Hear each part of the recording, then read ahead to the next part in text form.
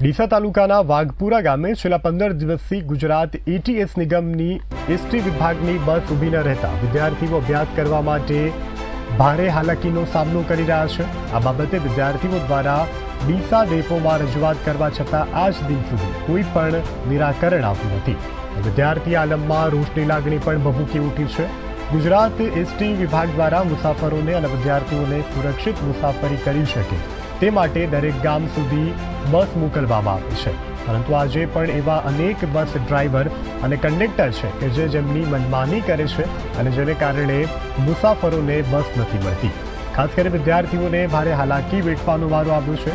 ત્યારે તાત્કાલિક ધોરણે એસટી નિગમ દ્વારા વાઘપુરા બસ સ્ટોપ પર બસ મૂકવામાં આવે તેવી વિદ્યાર્થીઓની માંગ છે. અમારું કાયદેસરનું અહીંયા વાઘપુરા સ્ટેન્ડ છે અને એવું કહેવામાં આવે છે કે તમારું કાયદેસરનું સ્ટેન્ડ છે નહીં અને વિનંતીથી બસ થોભો એવું સ્ટેન્ડ છે અને બસો ઊભી રાખવામાં આવતી નથી. પંદર દિવસથી છેલ્લા બસો ઊભી રાખવામાં આવતી નથી અને અહીંયા અમે રજૂઆત પણ કરેલી છે પણ ઊભી રાખવામાં આવતી નથી. અને એ બે મેં સ્લીપ પણ અહીંયા છે મારી જોડે.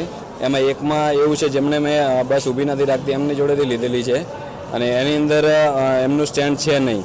અને બીજી એક સ્લીપ બીજા કંડક્ટર જોડેથી મેં લીધેલી છે. એમને મને એવું કીધું છે કે તમારું કાયદેસરનું સ્ટેન્ડ છે. અમારા અહીંયા પાસ પણ એ વાઘપુરાના નામથી નીકળે છે.